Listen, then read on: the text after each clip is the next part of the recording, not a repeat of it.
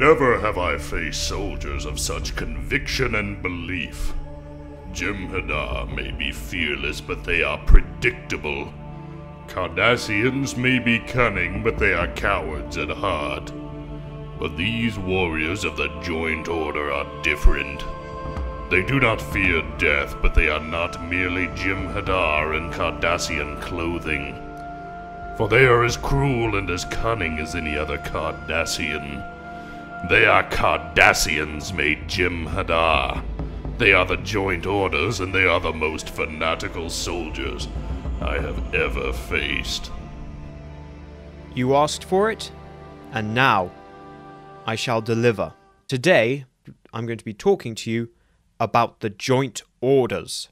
So, who are these mysterious warriors of the Dominion who seem to be instrumental in the final stages of the Dominion War? Who are these men who fight under the flag of the Joint Orders? Well, let's get into it. So, firstly, let's explain exactly who they are. Who are these people?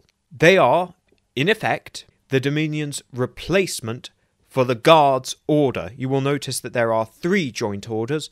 There were two Guards Orders, the first and the second. The first was wiped out during the war, the second is now on its last legs and probably won't last too much longer depending on when this video comes out.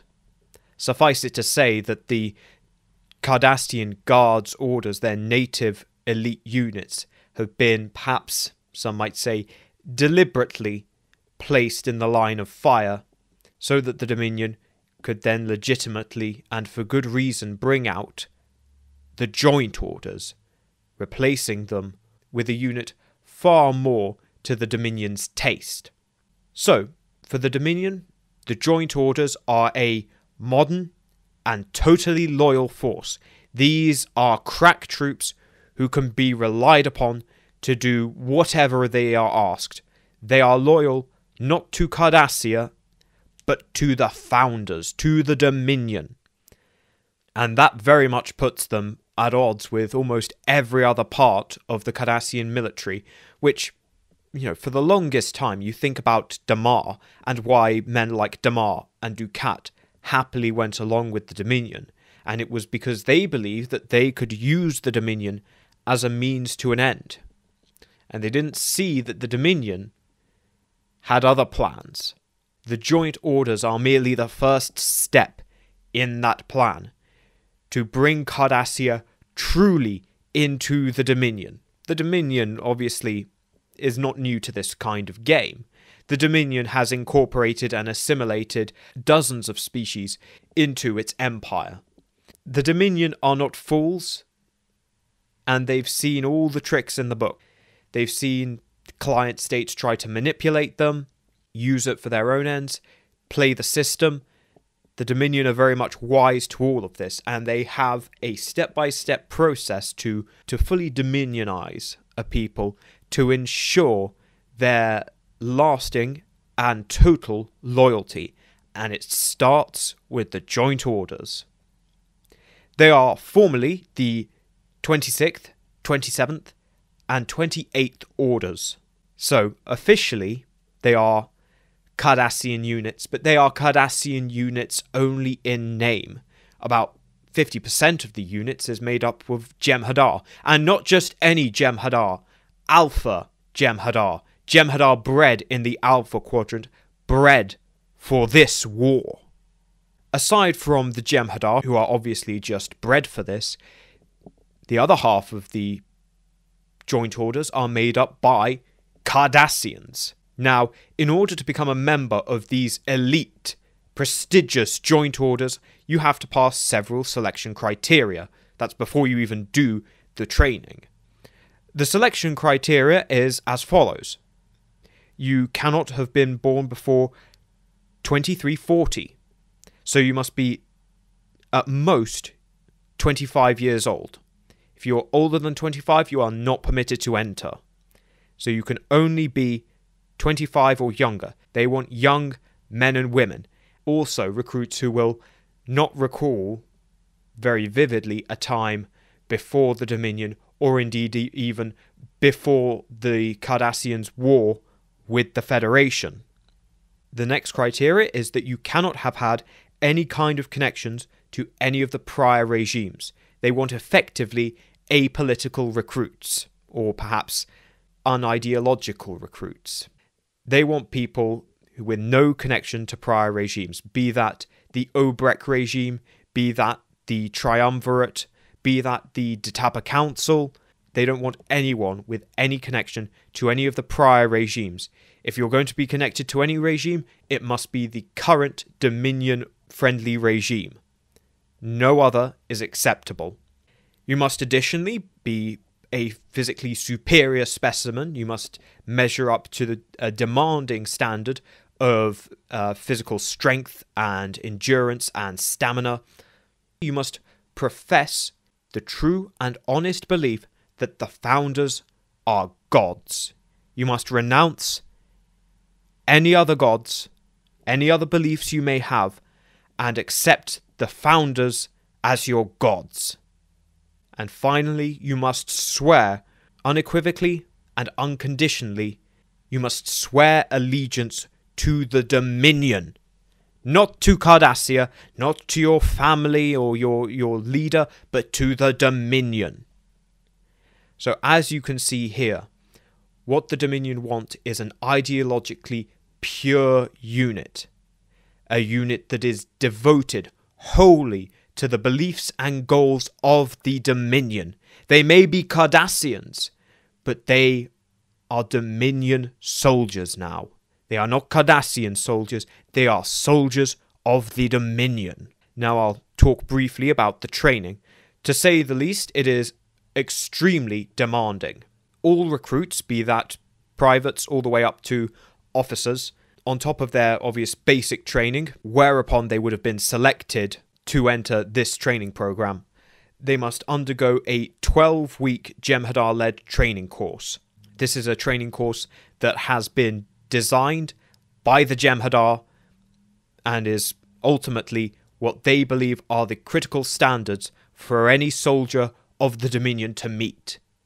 So you will be trained by the Jem'Hadar in a course designed by them to ensure that you live up to their standards.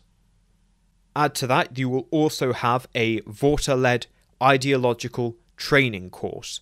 You will be taught all the key tenets of the Dominion, and your belief in the founders as gods will be further reinforced. For officers, this is a 16 week course. And of course, on top of all the normal physical stuff that they are required to do, they are also required to understand fully Dominion doctrine and tactics, such as it is. We'll say nothing more about that. Finally, to complete your training as a member of the Joint Order, you must carry out the execution of a dissident. This is a demonstration of your complete and unwavering loyalty to the Dominion and to the Founders. These are traitors to the Dominion and traitors to the Founders, and you will be the instrument of the Founder's justice. That's the training course. That's what they're asked to do to begin with. That's not even what they're asked to do on campaign. And if you are indeed capable of doing all that, then the Dominion has much work in store for you. I'll now briefly touch upon the equipment and tactics of these elite units. Suffice it to say that as the now politically favoured unit, the joint orders benefit from much. However, there are some notable exclusions. They don't make use of older equipment, even very good and reliable older equipment such as the Rhyshalak. Uh, they don't use it, they only use the Sartan. Uh, they also do not make use of the Hutet. At this point, there are actually a few Hutets running around Cardassian space, not quite as many as there are Dominion battleships, but a decent number of Hutets.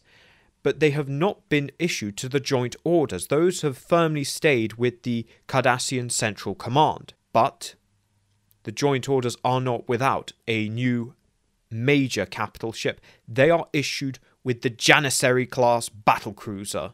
This is quite a large and formidable battlecruiser and is able to operate in a way that very much fits with Dominion doctrine and tactics. That's partially another reason why the Hutets were not ever issued to the Joint Orders, because the Hutets are very much standoff, slug it out with the enemy in a big linear battle. The Joint Orders do not operate as a Cardassian force, they are a Dominion force, and so they need ships that can operate as part of that force. Also joining the Joint Orders, and, and perhaps the most iconic part of the Joint Orders, are the Galor Mark IVs. These can be distinguished by their purple deflector and bussards. They are also constructed actually in the fashion of the original run Galors, not the Galor 3 star. Sort of just a show of status because those were always regarded as the higher quality Galors. The main addition to the Galor 4 is it has the ability to carry out anti-proton scans, and its main spiral wave disruptor cannon has been replaced with a Polaron phaser. So it is now armed with a heavy Polaron cannon. And this goes for pretty much all of the Cardassian ships in the Joint Orders. They will all incorporate Polaron weapons as part of their arsenal. Another addition is, of course, the Sartan class frigate. The Sartan is a very, very effective frigate. It is the most up to date frigate the Cardassians currently possess.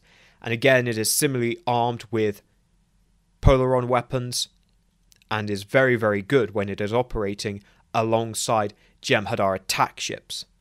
So, of course, as well as all these Cardassian ships, the Dominion are making use of their own ships in these orders and combining them together in joint formations. So you have Sartans flying with Jem'Hadar attack ships, Galor 4s supported by Jem'Hadar attack ships, Dominion battle cruisers supported by Sartans, Janissaries supported by Jem'Hadar attack ships.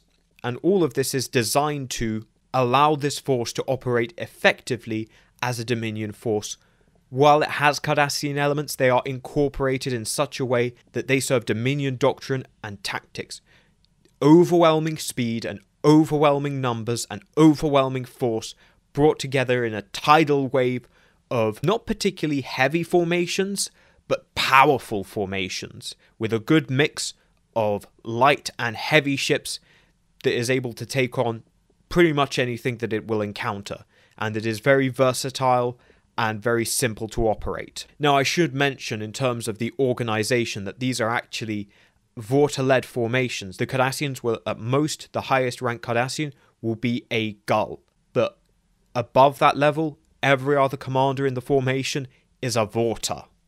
So it is still very much primarily a Dominion created unit and a Dominion led unit. The Cardassians are ultimately just the foot soldiers. It is the Vorta calling the shots in these formations, which is very much a contrast, particularly to early in the Dominion War, where actually, in large scale joint operations, the Cardassians would often take the lead because they professed knowledge and understanding of Alpha Quadrant style warfare. And, well, at this point, the Dominion are no longer listening to them. And with the joint orders, they don't have to anymore, because they now have Cardassian troops who are completely and utterly loyal to the Dominion and loyal to the cause and loyal to the founders. As much as these are intended as a elite crack unit designed to reinforce the front lines and, and rally flagging units, it's also as much intended for work behind the lines. This is an internal policing unit. This is to make sure that the Cardassians on the front lines, those Cardassian regulars, hold their ground and think twice about running. As much as they are an elite reserve, they are also a policing troop designed to keep the Dominion's other more disparate and disorganized units in line, and that is really the dark side of the Joint Orders.